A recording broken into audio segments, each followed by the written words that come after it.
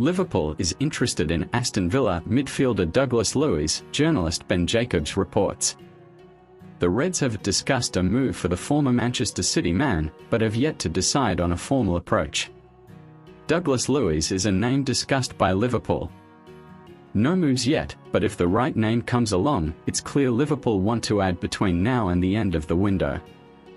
The Brazilian is believed to cost around £60 million, with three years left on his current contract.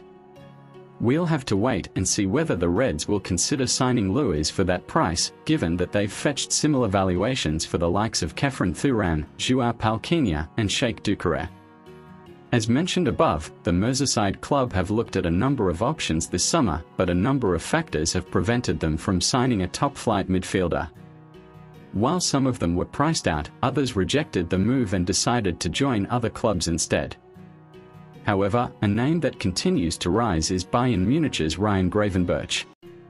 The Reds could still make a move for the Dutchman or Luiz before Friday's deadline. Another Premier League team, Manchester United, is also interested in Gravenberch. Erik ten Hag wants to bring his best student from Ajax to Manchester they agreed to trade Scott McTominay for Gravenberch with Bayern. Now we will watch until Friday.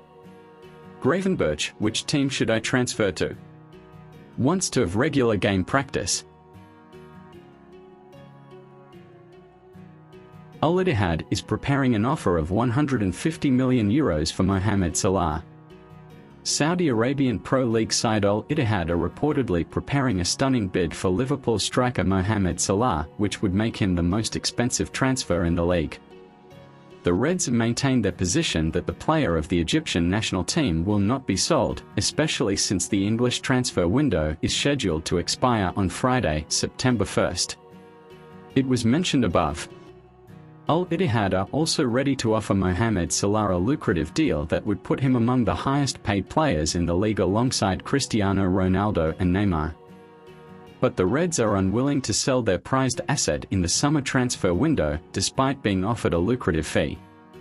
We remind you that the transfer window of the Saudi Championship will not close until September 20th. Neymar is currently the most expensive player in the Saudi Arabian Pro League, having been signed by Al Hilal for 90 million euros at the beginning of the summer.